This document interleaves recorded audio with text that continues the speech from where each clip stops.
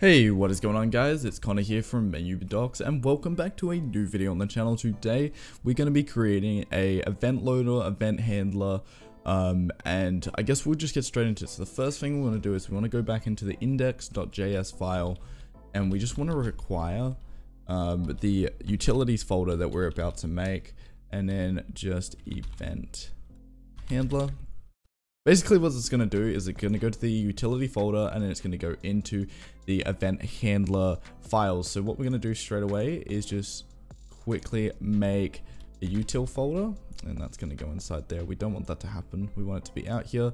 And then inside that file, we want to make a JavaScript file called event handler.js. Now, when we're in this file, the first thing we want to do is we want to do const reg event and that's just gonna basically make regular uh, require event and that's what we're going to use. We're going to define it as require event and then event um, arrow function re require.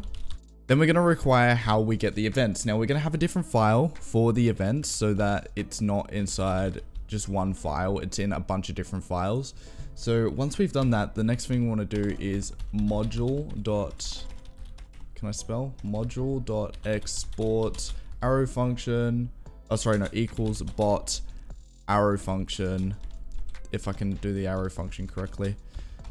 And th that's an array, that's not what we want. Curly brackets, bam. Now what we're doing here is a little bit like we do in the index file we're going to do bot on. So when the bot turns on, it's going to look for the ready event. And that's going to be a function. Um, just because we have... Oh, actually, no. We don't need it to be a function. But you know what? Just for this, we'll, we'll make it a function because I might add something in the future. Function, then rec event. Then we do ready again. And then on the other side of that, we do bot. And then that's the ready event. That's pretty simple. We do that. And then we look here. Does it close it? It doesn't close it. So we need to close it. Wait, hold up. No, we need to close it here. That's what we need to close it. And then we do bot dot on and we'll do a reconnecting. Reconnecting. Um, reconnecting. Bam. This will just be left empty. Arrow function, rec event, no, rec event, rec event, then reconnecting. Sorry, hold up. That shouldn't be the way. Yes, it should, but it should be this way. Rec event, um, reconnecting, space, bot, and then close it. Um, we should just space this out a bit to make it not as confusing. Then what we're going to do is we can basically just copy this one, stick it here, and we can do disconnect, and then here, disconnect. And then we can, I think we're going to also do warn.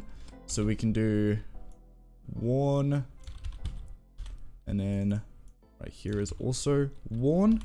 I believe warn doesn't need to have this. Bam. And then we can copy this. And what else we're to do? We're to do error.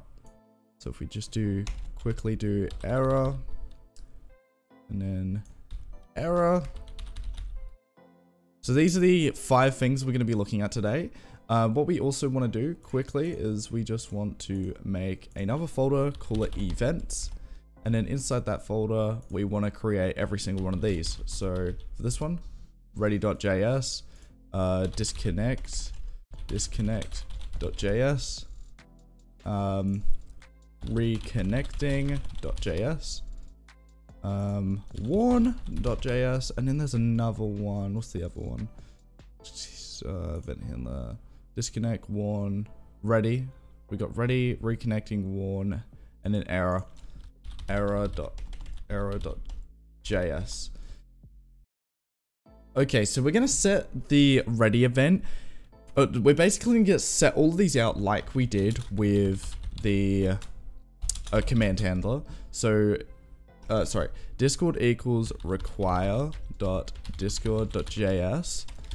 Then we're going to add const bot equals um, sorry, we don't need to add the bot because we're going to pass it. So now we're going to do module dot export um, equals bot and then arrow function params. And then basically in this bit right here we can stick go into the index file quickly. Uh, you see this right here? What we can do is we can just quickly grab this stuff right here. Uh, we can actually remove this now go to the ready event plop it right there and then whenever the ready event gets called that's gonna happen. Um let's close the colors. I don't know why that's open now for the disconnect. Now disconnect's a little bit easier because um, we can actually copy this stuff over here. Um, disconnect. Um, basically for this we can just remove this and this is gonna be a little bit different. We're just gonna console.log then you have been disconnected at and then we're gonna do new date bam and then we're gonna close it and then full stop so that's basically the disconnect one now the reconnecting one that's a little bit easier it's it's practically the same thing except from it's just oh hold on we should probably just copy the whole thing um wait that's oh god Jesus Christ. Okay. You uh you have um sorry, hold up. Cuz it's reconnecting, not reconnected. Uh reconnecting at bam bam. Now for the warn, warn is actually extremely easy compared to the God damn it. Warn is just literally console dot warn if I can spell warn right. Bam. And then what's the last one? Error. And then we'll copy this and just paste it in there. And this one is error. Now, this is basically the command hand, uh, sorry, the event handler. It's extremely simple. Um, once you get the hang of it, it's easy as. Um, but when we get around to adding like um, guild creates and all that kind of stuff, um, I'll show you guys how to do that, but we're not into that kind of stage yet. Um, I'll, I'll do more events in the next episode. But this is basis the basis of it. You can obviously add like dot prefix equals um obviously you need to go back. Bot uh bot config config um dot json and then oh sorry hold up require. That should be it right? Oh hold up it needs to be in quotes. There we go. But you can basically add that and then you can add like token. You don't really need token in any of the files to be fair. Actually, I think I should show you that it works first. That might be a good start. So we'll start up the bot and we'll see if the ah, bot is not defined. Hmm, interesting. Did I index is bot? Oh, oh yeah, sorry. I should probably put that below because we defined bot right here. So, um, I can't do re, re, I can't do restart. God damn it. Okay.